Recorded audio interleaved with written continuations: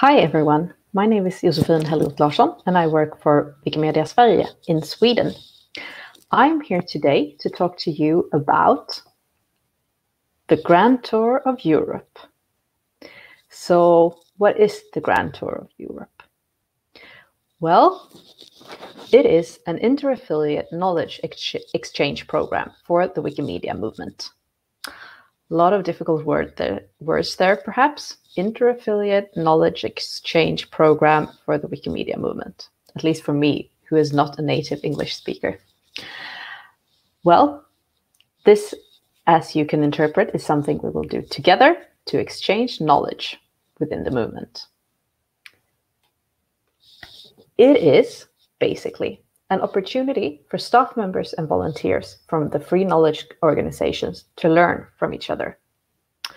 Uh, and this, of course, is something grand, but what is it more specifically?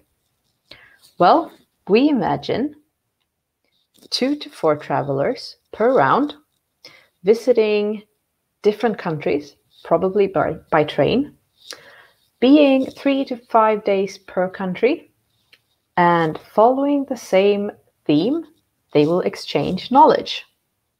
So, back in the days, uh, the nobility of Europe traveled across all of the different countries in a learning experience.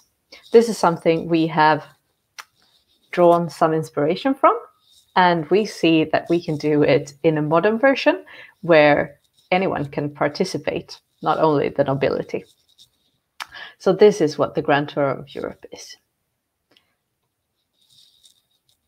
The travelers are supposed to learn new things, of course, but they will also share the knowledge they had before and carry knowledge between the participating affiliates that they visit. So if I go abroad, I will learn new things on my specific track or theme for the journey.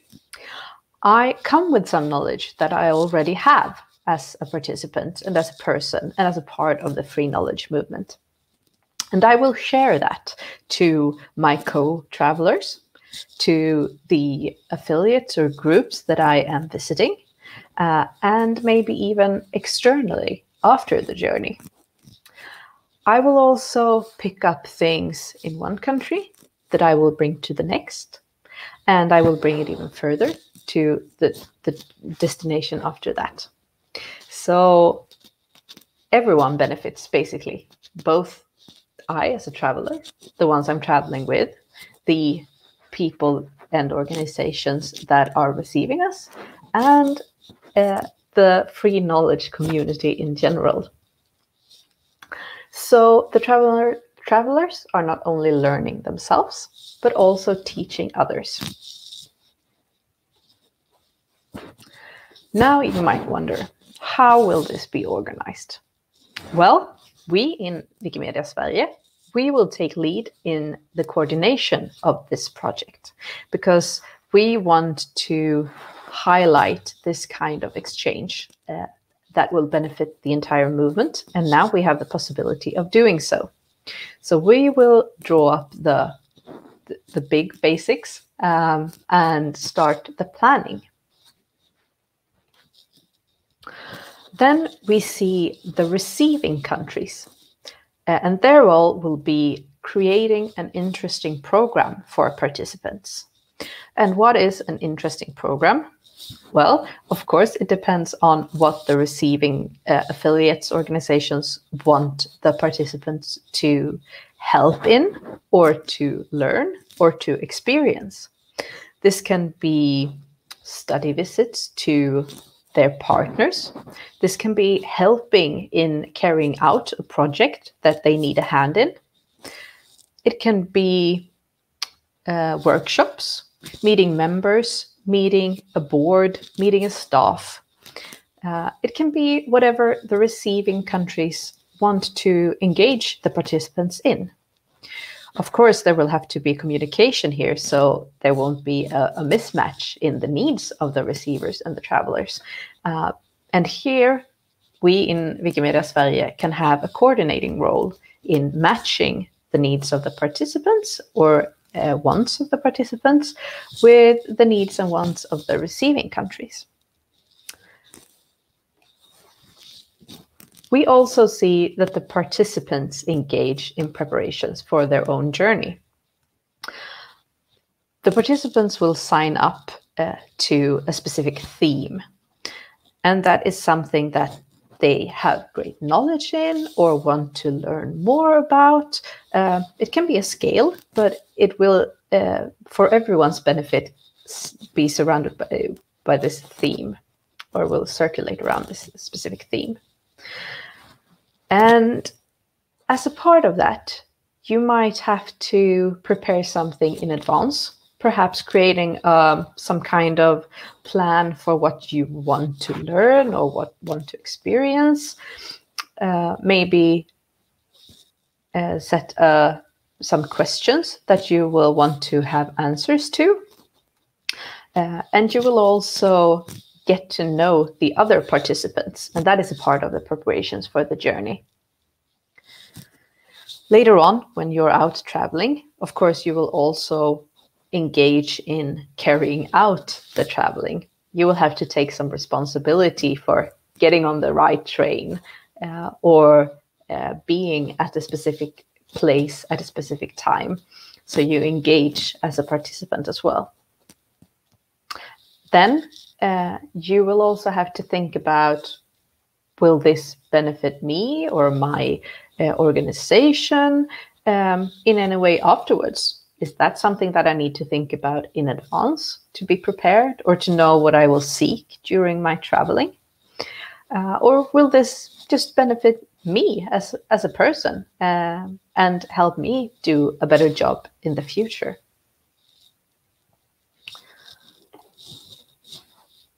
We have a plan or an idea that the first theme will be GlamWiki content partnerships. And that is because we in Sweden now have a specific focus on content partnerships. So we want others to come along on that journey as well. So that uh, might mean that you get to know other GlamWiki employees or volunteers or partner organizations, um, learning about new projects, sharing your projects. How do you work with content partnerships within the GLAM sector in your affiliate or in your country or you as a person? Uh, so this is something that we will try to use as um, as a first stepping stone for this project. Later on, we see many different themes coming along. Perhaps uh, technology, uh, perhaps education, uh, perhaps uh, copyright rules and regulations across the EU or across Europe, or um, yeah, many different themes. And this is something that we will have to think further on as the project goes along. So our plan to begin with is the GlamWiki content partnerships.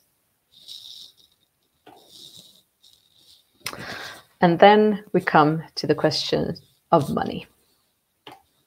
What about it? Well, Wikimedia Sverige will take the initial costs, mainly for staff and planning. That means we set up the structure, we help in connecting the interested participants with the receiving countries, um, help in um, communication, drawing up uh, a travel plan, uh, lots of those um, planning issues uh, or or structuring that needs to be done before this kind of project. So we take the, the project leadership and uh, pay for that basically. We will also put some work into finding a good fundraising model and developing this. And for that, we will need input. What do you think will be the best way of funding this project long term? How can we together build a long lasting Grand Tour of Europe program? And we see that Wikimedia organizations will, in some way, have to share the costs. Um, one way might be from the money we already have, uh, but it might also be in um, applying for projects, for example, uh, in your countries or um, in your surroundings. um, that will help co-fund this project. We now have a plan that the receiving organizations will pay for the participants for the duration of the stay and then pay for passing them forward, etc. So if someone comes to Sweden, for example, uh, we cover the cost for the participants during their stay and when they're traveling onwards. If we send them to Switzerland, then Switzerland then uh, pays for the participants during that stay and passing them forward. And what kind of things is it we cover? Well, it's of course the, the traveling onwards, but it's also accommodation and food for the stay, and also program if that is something that needs to uh, be paid for. We see that for the staff traveling, each organization uh, or affiliate will pay their salaries as usual. So that is not something that is covered by this project. If your employee, uh, if you are an employee, your uh, employer will uh, will pay your salary as usual. But for volunteers, we will also be looking into a model for covering the costs for taking time off work if needed. Maybe we will have some kind of uh, system to solve that so you won't lose money if you have to uh, take time off work for going on this grand tour of Europe as a volunteer. So that is something that we will have to think about further on and that we need help with in solving that kind of issue. So why should we participate then? Well, we see this as a magic opportunity to get to know others within the same field of work. We think that the bonds that we create can be strengthened and that uh, knowledge can be shared between people and between uh, organizations affiliates. So we really do believe that this is a magic opportunity for that to happen. We also see the possibility of sharing your skills. Whether you're a traveler or a receiver, we think that you have skills that needs to be shared. And this is a possibility of you doing just that. You can share it in person, but you can also share your skills or your findings afterwards, perhaps on our digital platforms uh, or in the form that you see fit. This can also be um, a place to get help in getting work done in your affiliate. If you need two to four extra hands creating a project or uh, carrying out a project, this can be it. Maybe you don't have staff today and you uh, need a helping hand in either creating that or in doing some kind of action during a specific time and place. Maybe this program can help you in doing that because there will come extra people to you.